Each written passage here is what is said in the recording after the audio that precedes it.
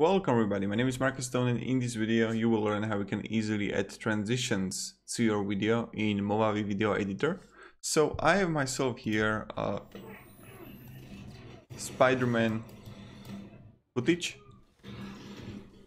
and he's like fighting the enemies now. Let's, I don't know, cut it like here and here and let's say that we want to add transitions. So what I'm going to do, I will click here on the transitions and you will have many transitions here that you can use. Let's go one by one and let's find the best one we can use. So in my opinion, this fade to black is really cool. And what you want to do is to zoom in a little bit and you can see how it's, wait a second.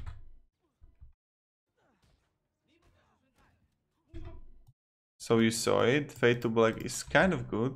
Let's go back, undo. You can go also with artistic and make like flash, that's also cool.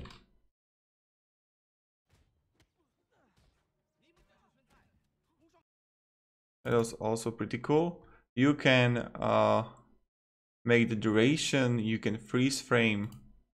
Let's see how it looks like. A lot like freeze frame with transition, which was pretty cool. Now you can make the fade, which are crossfade is the most popular one transition that you can do. Also double click on it and you can see the, the you can make the transition much longer. You can make the slow motion.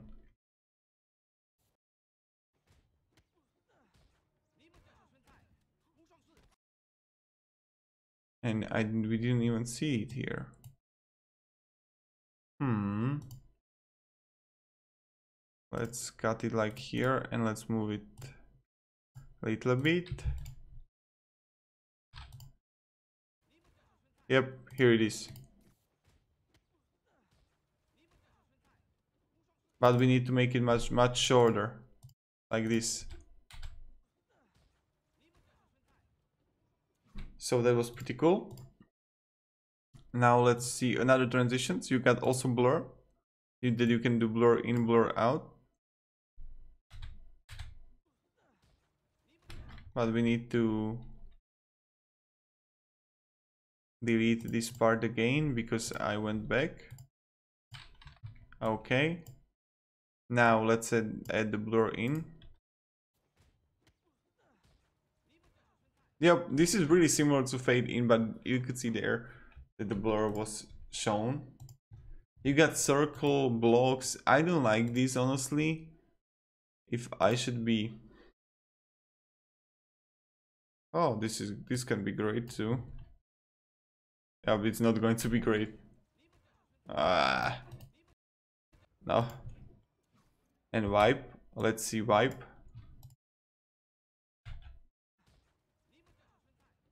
Wipe is also cool. I think.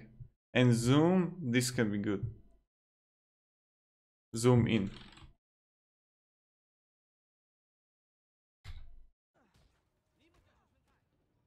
Yeah, this is also cool, but let's make it longer.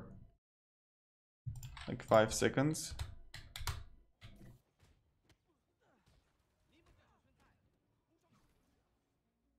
Yep, this is pretty cool. And zoom out, let's let's see how it looks like.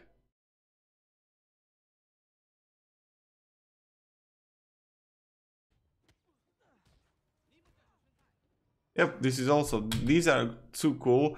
Also, I recommend using the crossfade as the best one, I think. But this is how you can add transitions in Movavi.